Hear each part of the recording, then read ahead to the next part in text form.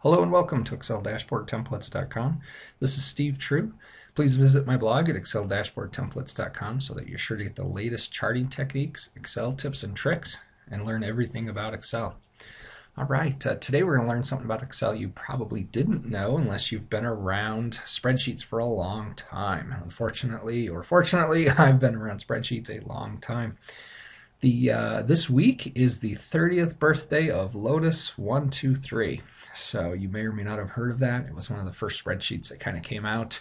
Uh, they started to be used by um, folks around the world, and uh, it was a DOS-based system.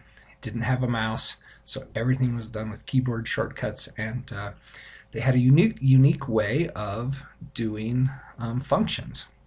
One of the first spreadsheets that had a lot of functions with it and uh, I want to show you a couple of things that you probably didn't know that are still available in Excel uh, for Lotus 123 users.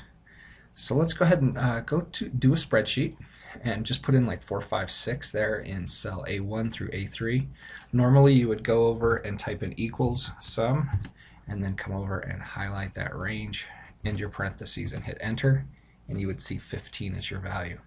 You still can use the Lotus function of at sum and you can highlight the range and look at that the same exact values so you can use the at sum feature. It's just like using equal sum. Lots of lots of different functions uh, at sum at average. It's like at avg uh, they're still in use today because uh, uh Excel was transitioning users to, from Lotus to Excel and they wanted everybody uh, back then had known what the keyboard shortcuts were, what the function shortcuts were.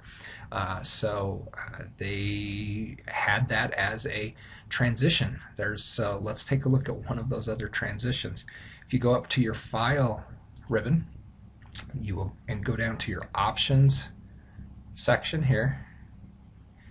You'll see this Options menu, and then if you go into the Advanced Options and then what you want to do is you want to scroll all the way to the very very bottom. You will see that there's these Lotus compatibility section right here. And uh, look it says Microsoft Excel menu key. Well remember everything uh, in Lotus didn't usually have a mouse so especially in the early days in DOS. So you had to bring up a menu and how you did that was put by pressing this forward slash key. Uh, and you can change some other things in here in Excel uh, to uh, make your transition easier from Lotus. So let's go back into the spreadsheet.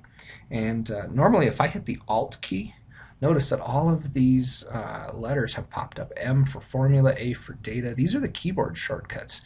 V for uh, W for a view a ribbon, H for the home ribbon. So that was by pressing the Alt key. Let's pre press the uh, forward slash key.